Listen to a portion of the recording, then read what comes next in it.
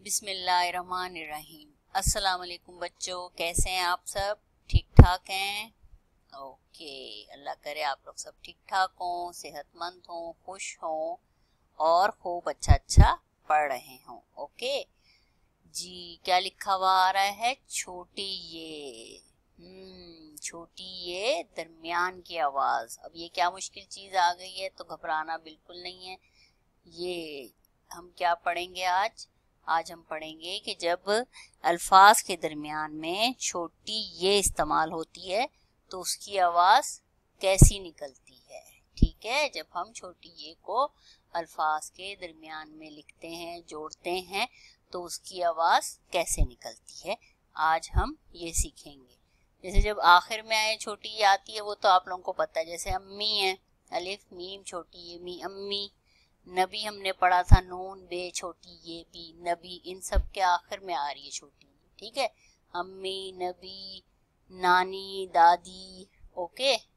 और लाई, खाई, लाम, अलिफ लामदा छोटी, ये, ई, खे, अलिफ, खा हमदा छोटी, ये, ई, खाई, इन सब के आखिर में आ रही है।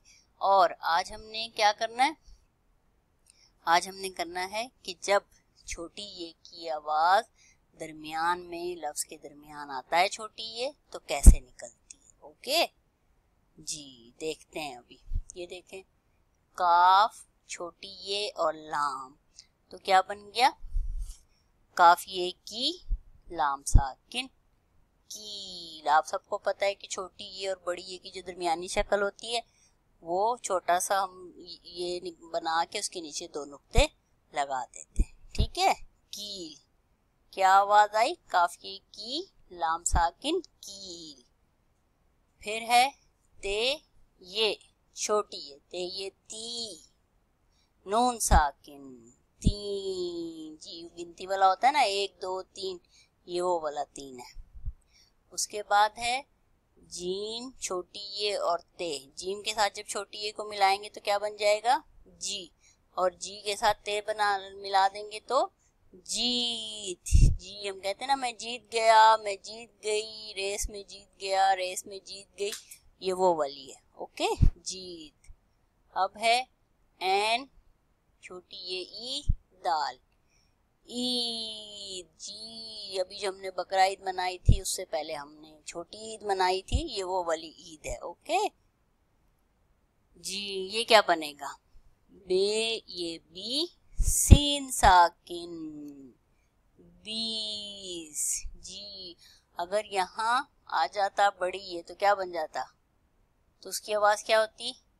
बे, ये बे सीन साकिन बेस। ठीक है?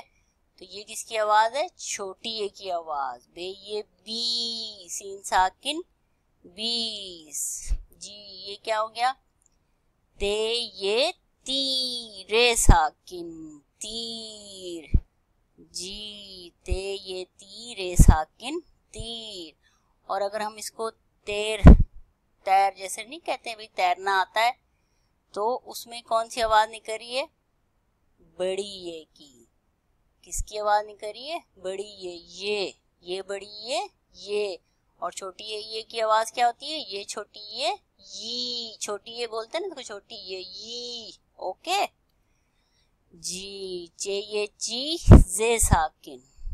चीज़ और मीम ये मी लाम साकिन मील। कितना मील का सफ़र कर लिया भाई?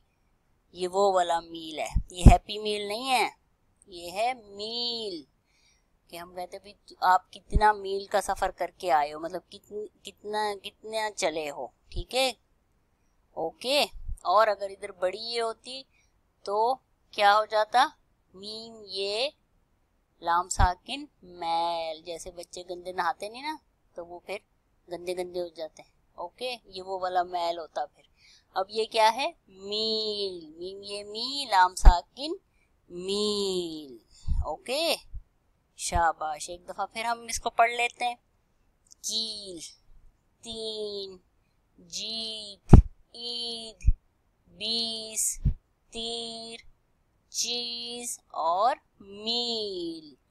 ओके, ये आपकी किताब का सफ़ा नंबर पैंतालीस है। उसमें ये लिखा हुआ है, इसको आपने जोड़ के लफ्ज बनाने हैं, ठीक है?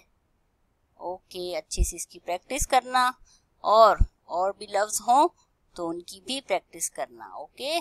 शाबाश, अपना बहुत ख्याल रखिएगा। अल्लाह हाफिज़।